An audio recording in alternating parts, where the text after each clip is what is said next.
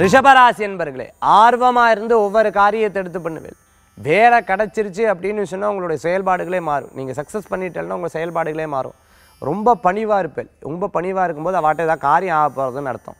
ரொம்ப திடகாத்திரமாக இருப்பேன். நீங்கள் ஏதோ காரியத்தை சாதிச்சிட்டேன்னு அர்த்தம்.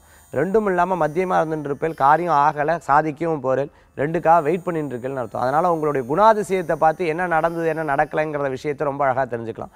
அதுமாதிரி ஃபுட் சம்மந்தமாக சாப்பாடு சம்மந்தமாக நேரத்துக்கு சாப்பிட்றது நேரத்துக்கு தூங்குறது நேரத்துக்கு செயல்படும் பொழுது உடல் ரீதியான ஆரோக்கியத்தில் முன்னேற்றங்கள் ஏற்படுத்தி கொடுக்கும்.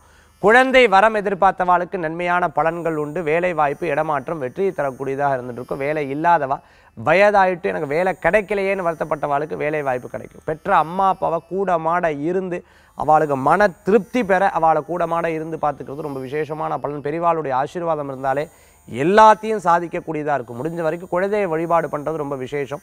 இன்றைய தினத்தில் ரிஷபராசி என்பர்களுக்கு இரும்பு சம்பந்தமான ஒர்க் பண்ணிட்டு இருக்கா ஏர்போர்ட்டில் ஒர்க் பண்ணிட்டு இருக்கிறவா கவர்மெண்ட் ஆஃபீஸராக இருந்துருக்கிறவாளுக்கெல்லாம் அமோகமான பலன்கள் அதிர்ஷ்டம் தரக்கூடிய அற்புதமான எண் ஏழு.